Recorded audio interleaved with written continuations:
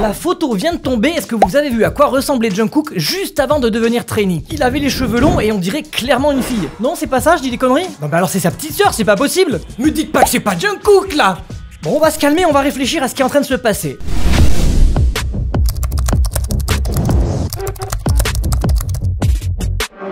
Là, vous êtes en train de voir des photos d'une idol japonaise qui s'appelle Saya Hirai, et bien qui est connue parce qu'elle ressemble ultra à Jungkook, faut l'avouer. Il s'agit en fait de la femme d'un acteur coréen qui s'appelle Shim Young Tak, et pour ceux parmi vous, je sais pas s'il en reste qui dirait encore mais non elle ressemble pas du tout à Jungkook, sachez que en live Jungkook lui-même a avoué qu'il y avait une putain de ressemblance.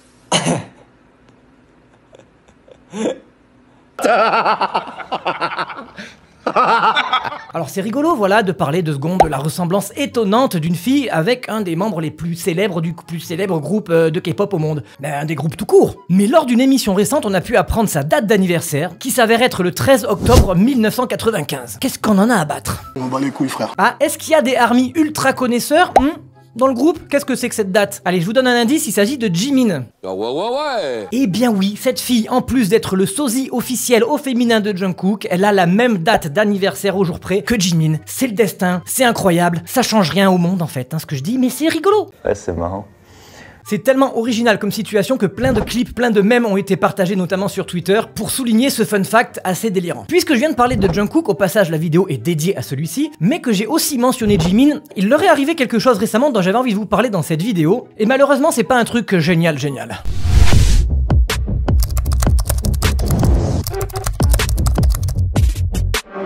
Voyez-vous, les deux membres de BTS sont allés participer à une émission, Good Morning America, avec l'animateur, et pour préparer l'émission, ils sont montés à bord d'un yacht. Ça leur permet de se détendre, de chill un peu, tranquillement dans les alentours de New York. Alors ce genre de moment est censé rester privé quand même, mais il y a une vidéo qui est sortie, pourquoi? Parce que le capitaine du bateau, ben, les a filmés. Dans un audio, on peut l'entendre dire Oh, le mec en charge, il m'a dit, vous devez ranger vos téléphones et ne parlez pas beaucoup en anglais. Ah, je lui ai répondu Écoute, mec, c'est eux qui montent sur mon bateau, pas l'inverse, mec. C'était pas ma guerre Le capitaine a partagé ses vidéos en story Instagram, sauf qu'il s'attendait pas à ce qu'il était en train de faire.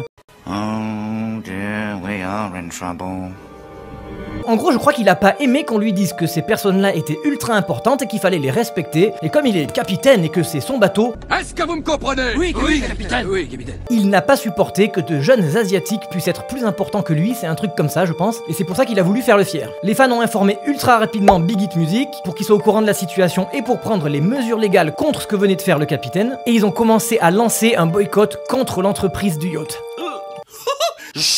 L'entreprise a reçu tellement de critiques qu'elle a dû fermer son site web. Les réseaux sociaux de l'entreprise et du capitaine ont dû être supprimés ou mis en privé pour éviter le boycott. Je crois qu'à l'heure où je vous parle, le public attend encore une réponse de l'entreprise et du capitaine pour voir ce qu'ils ont à dire concernant cette invasion de la vie privée de Jimin et Jungkook. Avant de rentrer dans le vif du sujet, parce que je vais vous parler de deux news concernant Seven, le titre très récent et ultra populaire de Jungkook, Laissez-moi vous faire plaisir. Je sais pas si vous êtes au courant, mais je suis en train d'organiser un concours qui prend fin dans deux semaines pour vous faire gagner deux places pour le concert de Twice, deux places en fosse. Or, non seulement ça, mais aussi l'aller et retour en train si vous habitez en France métropolitaine, Suisse, Belgique, Luxembourg, ainsi que la nuit d'hôtel. Donc tous les frais sont pris à ma charge, ou en tout cas à la charge de ma nouvelle entreprise que j'ai ouverte avec mon cousin récemment, qui prend la forme d'une marque que je viens de créer avec mon cousin qui s'appelle Mounois.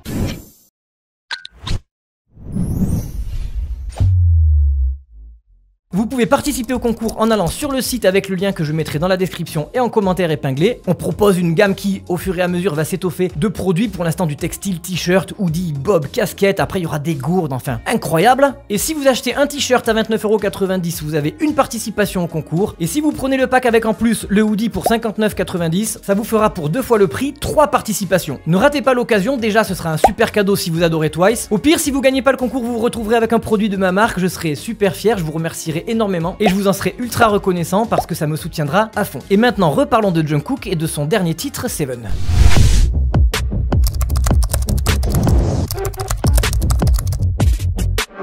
Lors d'un récent live que Jungkook a fait sur la plateforme Weverse, Jungkook a partagé quelques petits fun facts et des secrets de behind the scenes BTS. Fait du bruit tellement c'était claqué au sol. Claqué Notamment le fait que lors de la série de concerts qu'il a tenu au JMA à Central Park à New York, il a dit que sa gorge n'était pas du tout en bon état. Il a passé un test pour être bien sûr et ouf, c'était pas le Covid. Et il révèle que c'est à ce moment-là exact qu'il est arrivé au pic des symptômes. Que s'il avait commencé à être malade un petit peu avant, il aurait pu se préparer, se reposer et peut-être aller un petit peu mieux pendant la performance. Mais c'était pas le cas. Et il dit que peut-être des gens se sont aperçus mais il avait des marques de perfusion sur lui parce qu'effectivement, pour pouvoir être en forme et performer le mieux possible, eh ben il a reçu des perfusions. Une que je pense personne n'a vue, c'est une perfusion qu'il a eue sur les fesses. C'était le tout début de ses promotions, les gens l'attendaient depuis des heures, que dis-je, des jours, assis à dormir dans la rue pour le voir enfin en solo, et il dit qu'il était vraiment deg, qu'il ressentait vraiment beaucoup de regrets de pas pouvoir performer au max de sa forme, et que donc il était même impossible de repousser ou d'annuler sa performance. Bon, il dit que bien entendu, grâce à la force du public, il a réussi à donner une performance qu'il espère être pas trop mal. Je sais pas si beaucoup de gens ont remarqué qu'il allait pas bien, mais tout s'est bien fini. Mais passons maintenant à quelque chose d'un petit peu plus chaud, bouillant.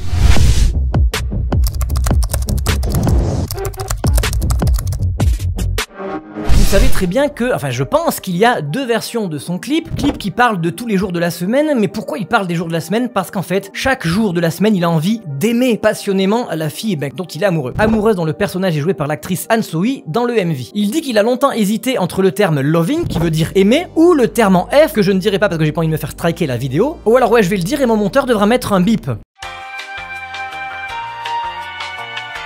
Parce qu'à la base, oui, il voulait employer le terme f lors d'un live où il a essayé d'être le plus distrayant et amusant possible, il a commencé à chanter la chanson Night After Night. Tu vas rentrer chez toi et réfléchir à ton avenir. Je vais rentrer chez moi et réfléchir à mon avenir.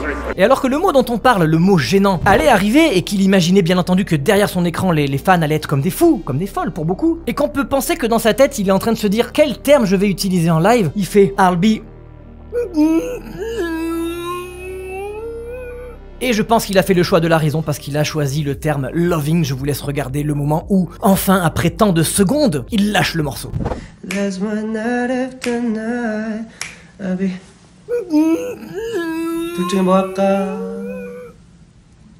Loving your Difficile décision pour lui qui, une fois encore, a donné naissance à pas mal de mèmes sur Twitter. Par contre, il y a un truc qu'il a pas du tout aimé, c'est le fait que lors d'un live, il lit les commentaires, il est un petit peu surpris. Dans les commentaires, donc, une fan a demandé pourquoi est-ce que vous avez fait une version sale de Seven? Le terme sale est important. Nicolas. Il réfléchit un petit peu il dit mais pourquoi vous appelez ça une version sale? Qu'est-ce qui est sale dans le message de la chanson? C'est la version explicite, oui, une version pour adultes peut-être, mais pourquoi sale? Il essaie d'expliquer que dans les relations humaines et adultes, le fait d'aimer, d'aimer passionnément, passe certes par le cœur, par l'esprit, mais passe aussi bien entendu par le physique. Il a dit qu'au début, si ça ne tenait qu'à lui, il aurait même de base fait plutôt la version explicite et qu'il a longuement réfléchi à savoir quelle version il allait sortir et que c'est pour ça qu'il a sorti les deux en mettant d'abord en avant la version tout public, on va dire. Et c'est après qu'il a dû expliquer quelque chose pour mettre au clair avec les femmes. Alors il le dit gentiment et en souriant, hein, mais il dit Je sais pas si vous en rendez compte, mais j'ai 28 ans quand même. Ça fait genre 15 ans que je suis dans l'industrie et même si je suis le plus jeune de mon groupe, dans le monde des idoles, je suis pas du tout le plus jeune. Hein. J'ai l'impression que vous me voyez toujours comme un petit gamin là. Hey, je vais avoir 28 ans l'an prochain. Et il dit qu'encore une fois, il a beaucoup réfléchi et qu'il a pas envie de se